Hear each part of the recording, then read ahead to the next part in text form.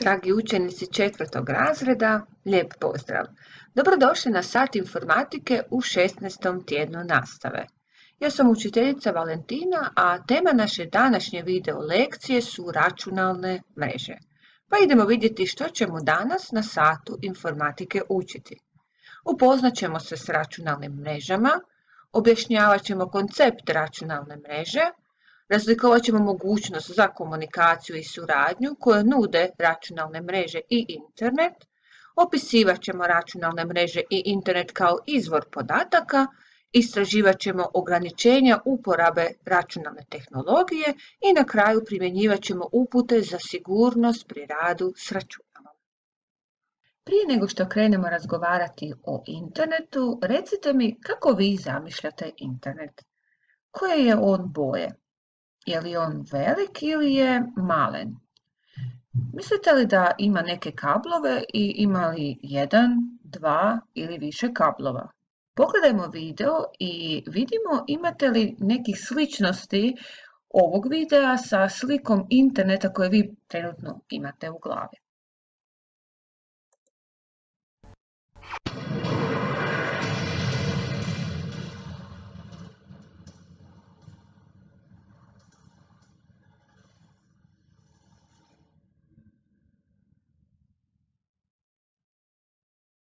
Onda, je li u ovom videu prikazan internet? Saznaćemo uskoro. Vjerujem da ste do sada čuli puno toga u internetu, no sada je vrijeme da procijenite svoje znanje. To radimo upravo prije nego što započnemo cijelu priču u internetu da vidimo koliko toga zapravo mi znamo. Upisat ćete adresu ove mrežne stranice bit.ly znam internet i odgovoriti na pitanja. Idemo pogledati zajedno. Učitala nam se mrežna stranica i kaže prije nego naučimo više toga u internetu, što misliš koliko toga znaš. U prvom pitanju traži se od vas da procijenite što znate u internetu. Ako mislite da ne znate gotovo ništa, stavit ćete samo jednu zvijezdicu. Onda ovisno o tome koliko toga znate o internetu, možete staviti dvije, tri, četiri ili ako znate apsolutno sve o internetu, stavit ćete pet zvijezdica. U drugom pitanju morate odgovoriti što mislite da je istinito u internetu. Znači sve to što znate o internetu, je li to zbilja sve istina? Odnosno, je li sve što pronađemo općenito na internetu istina? Ako mislite da gotovo ništa što ste čuli nije istina, stavit ćete jedno srce, a ako mislite da sve što ste čuli o internetu je istina, stavite pet srca. I u zadnjem pitanju morate odgovoriti što vi želite znati o internetu. Ako ne želite znati gotovo ništa, stavit ćete 1, ako želite malo više znati, stavit ćete 2, 3, 4 ili ako želite znati apsolutno sve, stavit ćete ocjenu 5. Nakon toga kliknemo na gumb Leave Feedback, odnosno dajete svoju povratnu informaciju. U samom početku naše video lekcije idemo pronaći odgovor na pitanje što je internet. Internet je najveća svjetska računalna mreža. Kažemo za internet da ga čini veliki broj računala po cijelome svijetu. Ta računala su povezani u jednu mrežu, a nju nazivamo internet. Sada kada znamo definiciju interneta, idemo provjeriti koje pojmove vezane uz internet još poznajete. Vjerujem da ste do sada se već služili riječnikom, bilo da je to bilo na satovima engleskog jezika, njemačkog jezika ili čak i hrvatskog jezika, no kako izgleda informatički riječnik? Ovo što ćemo mi danas vidjeti zapravo i nije pravi riječnik, jer u njemu nećemo vidjeti objašnjenje pojmova, već ćemo pročitati pojam i označiti ga kao poznat ukoliko znate njegovo značenje. Pogledajmo sada na mrežnoj adresi ove mrežne stranice riječnik na mreži. I stigli smo do našeg riječnika na mreži.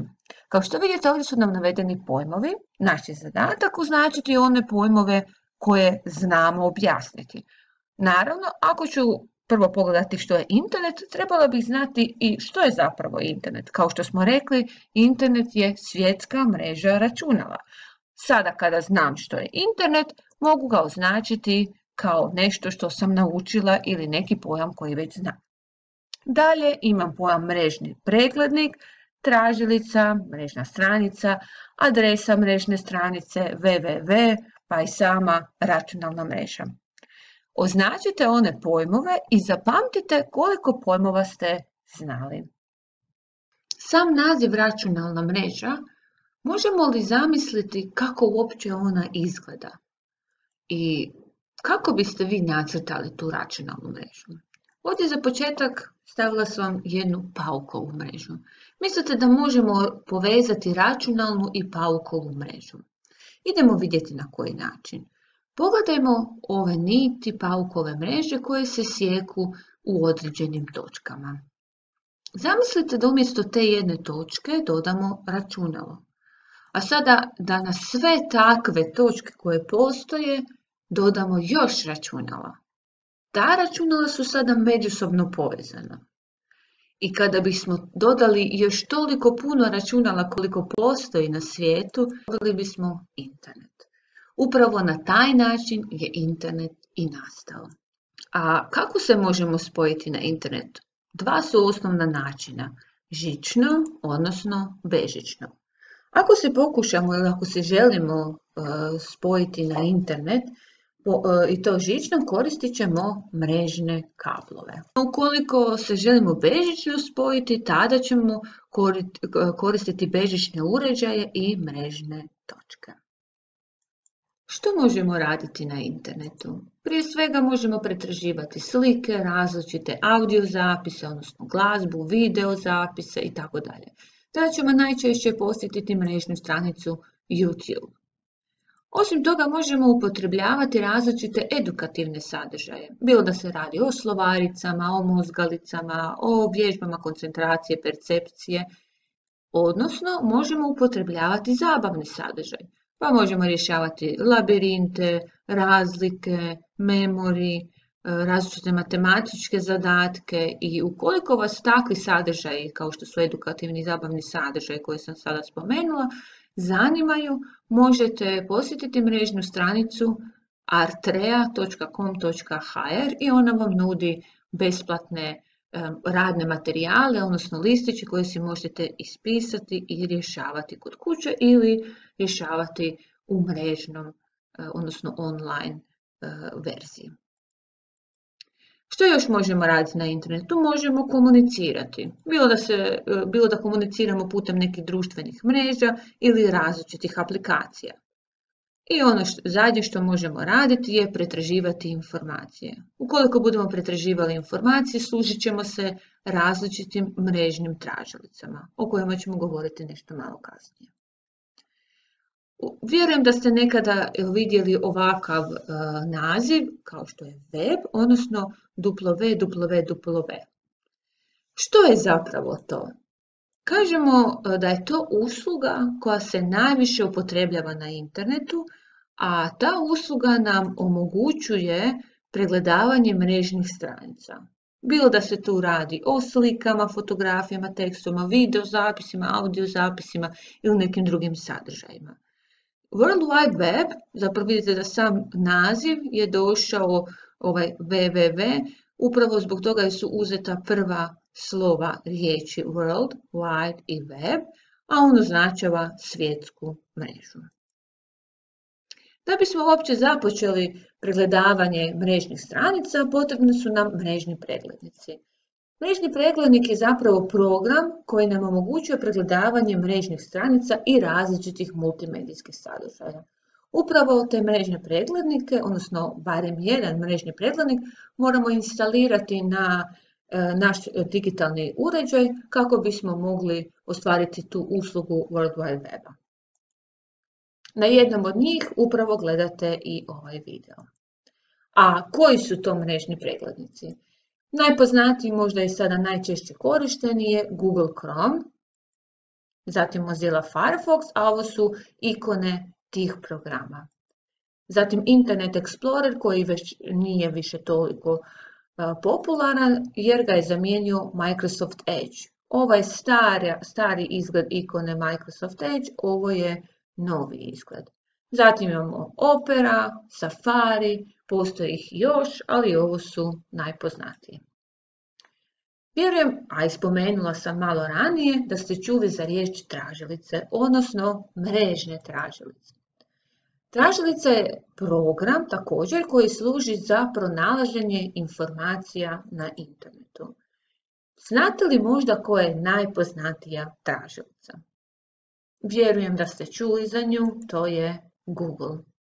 Osim Googlea imamo tražilicu Bing, odnosno Yahoo, i to su neki od najpoznatijih koje koristimo e, svakodnevno u pretraživanju različitih informacija.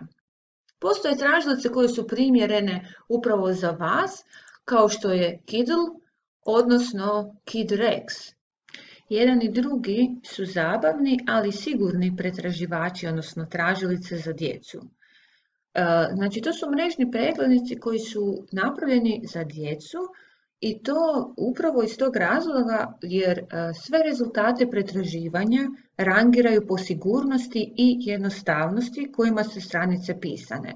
Znači imaju razumljiv tekst, imaju sigurne poveznice, a štite vas, djecu, od neprimjerenog sadržaja koji zapravo ne bi trebali ni vidjeti niti pretraživati. Mrežna stranica E, odnosno sav sadržaj na internetu nalazi se u obliku stranica koje nazivamo mrežnom stranicom. Svaka mrežna stranica ima svoju adresu koju nazivamo adresa mrežne stranice.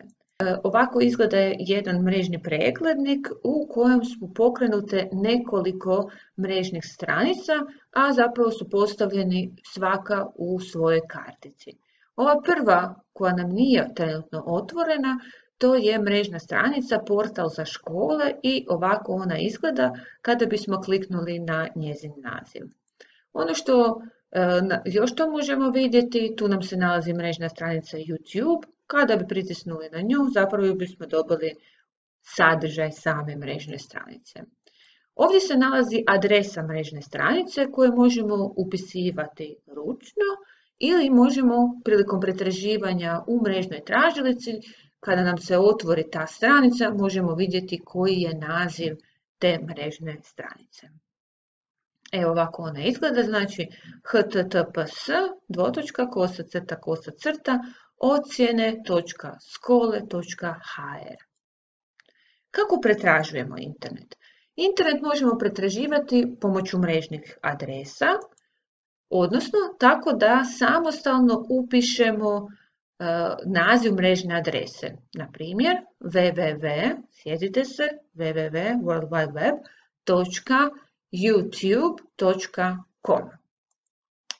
Drugi način je pomoću tražilice. Kada smo već spominjali tražilice, govorili smo o Google kao najpoznatijoj tražilici. Kako zapravo pomoću tražilice možemo pretraživati internet?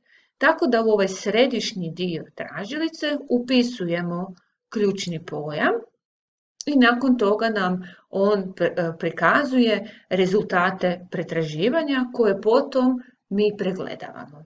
Također možemo pretraživati internet s pomoću poveznica. Kako? Znači neke mrežne stranice imaju tekst koji izgleda ovako, znači on je podvučen i naš pokazivač miša koji je trenutno ima oblik strelice mijenja oblik u ruku sa isprženim kažiprstom.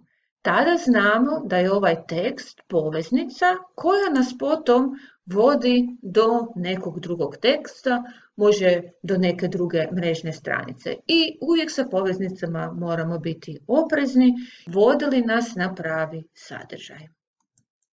Koji su glavni dijelovi stranice? Sa gornje lijeve strane nalazi nam se navigacijski gumbi. Pomoću njih se možemo krenuti prema naprijed, odnosno prema nazad, ovisi koju, koju mrežnu stranicu smo pregledavali prije, odnosno poslije. Onda treći po redu gumb je e, gumb za ponovno učitavanje, dok ovaj zadnji koji ima oblik kuće je e, za povratak na početnu stranicu. Zatim ovaj središnji dio, to je naš izbornik u kojem možemo posebno još pregledavati. Središnji dio je sam sadržaj mrežne stranice. Kako možemo upotrebljavati tražilicu Google? Nakon što smo otvorili našu, našu mrežnu tražilicu, upisali gore u e, adresu mrežne tražilice google.hr, otvorila nam se mrežna stranica.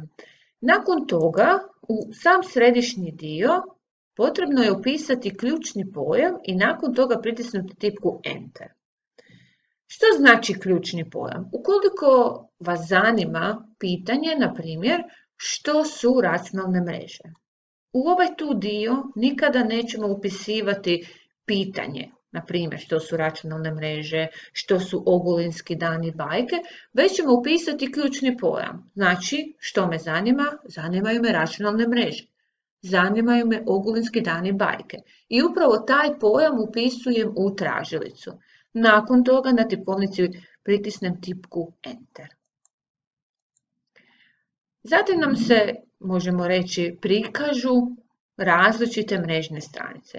Svaka od tih mrežnih stranica u gornjem dijelu nalazi se adresa mrežnih stranica, naziv i kratki sadržaj. No, nije to sve što možemo raditi na Google tražilici, to ono su bili rezultati pretraživanja kada nam je odabrano sve.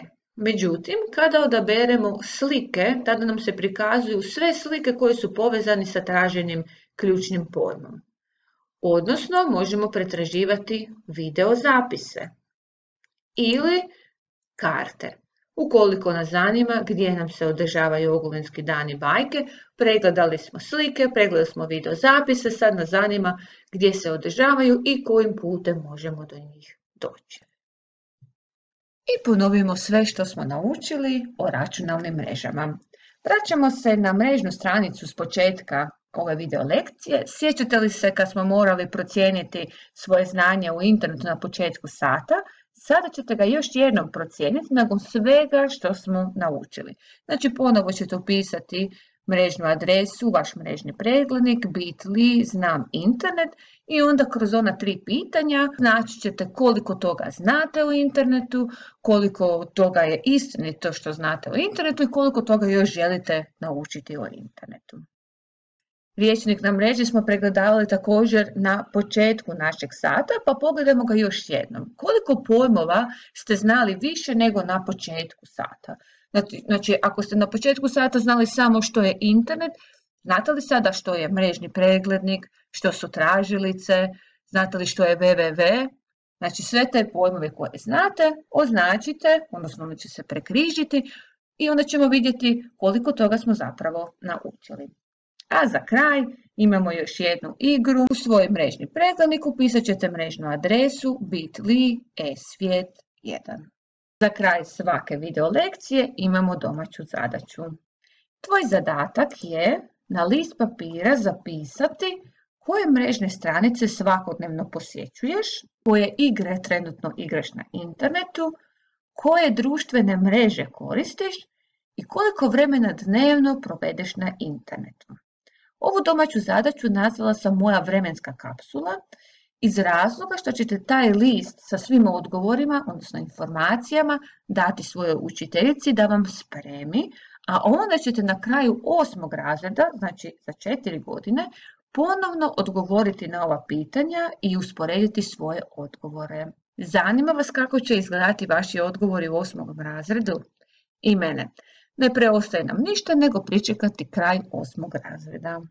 I stigli smo do kraja današnje video lekcije, razgovarali smo o računalnim mrežama, upoznali se s internetom i nadam se dobro zabavili.